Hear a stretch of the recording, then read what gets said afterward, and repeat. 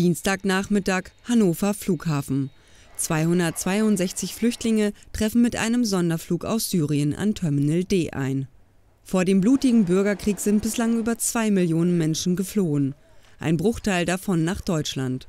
Die Aufnahme syrischer Flüchtlinge wird überwiegend aus dem Libanon erfolgen. Bei der Auswahl der Anträge spielen neben Faktoren wie Schutzbedürftigkeit auch familiäre Beziehungen nach Deutschland eine Rolle. Das Bundesamt für Migration und Flüchtlinge organisiert und begleitet die Einreise der Heimatvertriebenen. Also wir haben im Moment etwa 3000 Menschen hier in die Bundesrepublik Deutschland geholt. Sie kommen zum Teil organisiert über unsere Flüge hier nach Hannover, zum Teil auch einreisen über ein Visa-Verfahren. Wir werden noch mindestens zwölf Flüge haben, bis wir die ersten 5000 dann endgültig hier in der Bundesrepublik Deutschland haben. Aber unser Auftrag ist, neben den 5000 weitere 5000 herzuholen. Also insgesamt 10.000. Ähm, das wird uns das Jahr 2014 mit dem Flughafen Hannover noch recht eng verbinden.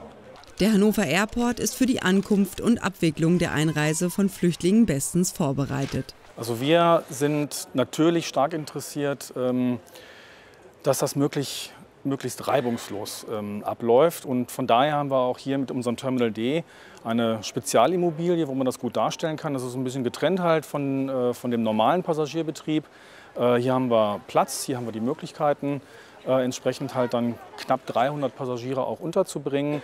Ähm, und äh, versuchen das dann halt möglichst angenehm dann auch für die Passagiere darzustellen. Dadurch, dass sie ja halt auch schon eine relativ lange Reise hinter sich haben, schon viel erlebt haben, versuchen wir das hier sehr ruhig äh, zu halten und dann auch für die vielen Kinder, die dann auch kommen, möglichst angenehm.